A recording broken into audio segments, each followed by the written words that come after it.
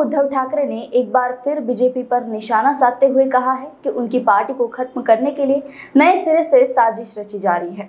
उन्होंने कहा कि पहले हमें विभाजित किया गया और अब नए सिरे से खत्म करने के प्रयास किए जा रहे हैं।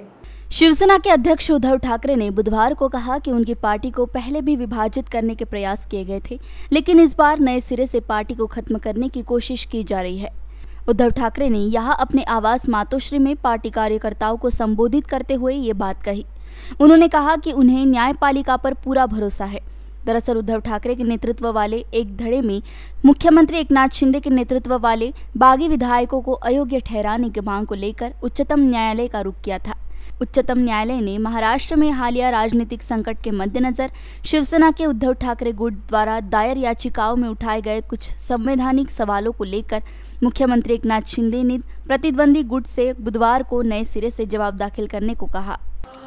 बॉस ने मीटिंग बुलाई। बाहर बाहर उठो बैठो। तकलीफ़ उठने बैठने की नहीं तकलीफ़ बवासीर की है। बवासीर फिशर भगंदर पाइलोनियल साइंस का आयुर्वेद तथा आधुनिक लेजर से उपचार कॉल और विज़िट करें www.pilesfistulacure.com